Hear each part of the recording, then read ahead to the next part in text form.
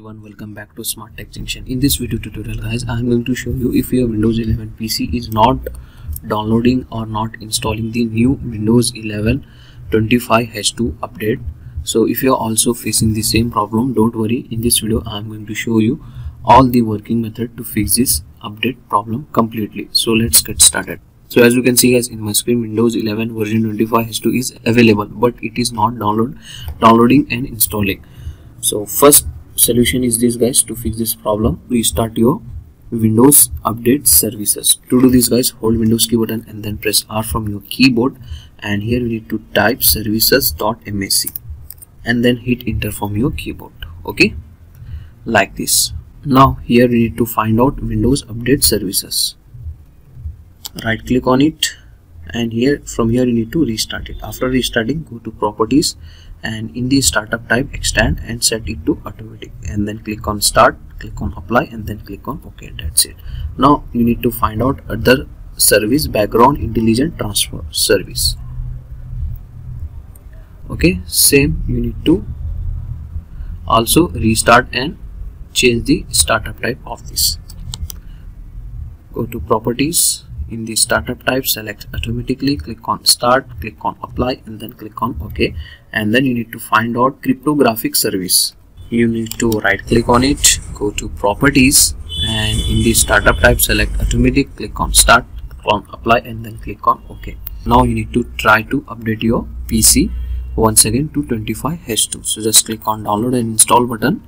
So it will now start the downloading process. If the problem is same you can try the next method. Now you need to check the internet connection of your pc so in case the internet connection is not good at that time you can definitely face this type of problem. So just you need to cross check your internet connection by opening other thing like google chrome browser try to play any other videos online and let's see how your internet is performing. If there is no internet connection you can definitely face this type of problem issues on your pc you need to sort out the internet connection and then if the internet connection is very good afterwards you're facing the same problem now you can try the next method. Now you need to clear the windows update cache on your pc to do this guys hold windows key button and then press r from your keyboard.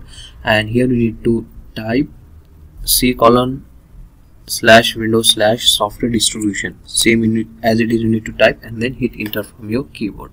Select all files from here and then delete them. This clean all corrupted update file and then after deleting these guys you need to restart your pc one time. After restarting now once again try to update your pc it will fix your problem. Still the problem is same. You can try the next method. Once again open your windows settings. Okay go to system and in the right panel scroll down and find out troubleshoot. In the troubleshoot go to other troubleshooter like this and then simply you need to run the windows update troubleshooter. So just click on run button. It will start the windows update troubleshooter. Follow the on-screen suggestion and to fix the problem step by step okay?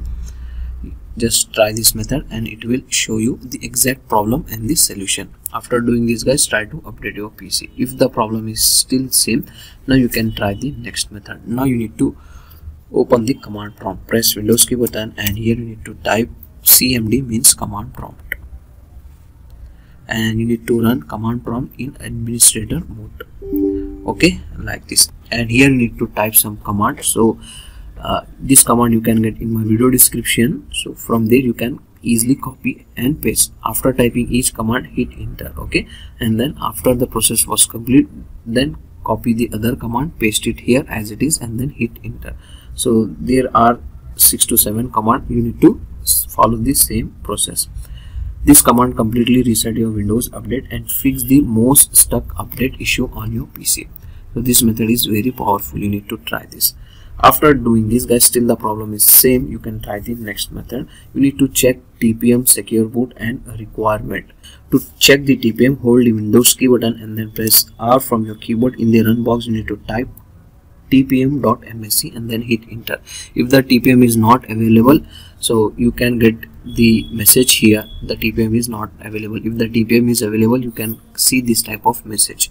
And one one more thing you need to see the secure boot is on or not on your pc to check these guys press windows key button and here you need to search system information and here you need to find out the secure boot. If the secure boot is enabled at that time you can easily able to uh, go with windows 11 25h2 also you need to check your bios mode to uefi so this is the main mandatory requirement to update your pc to latest version of windows 11 also you need to have the 4 gb ram 64 gb storage and a supported cpu if your pc meets this all requirement and then go to once again your windows settings go to windows update.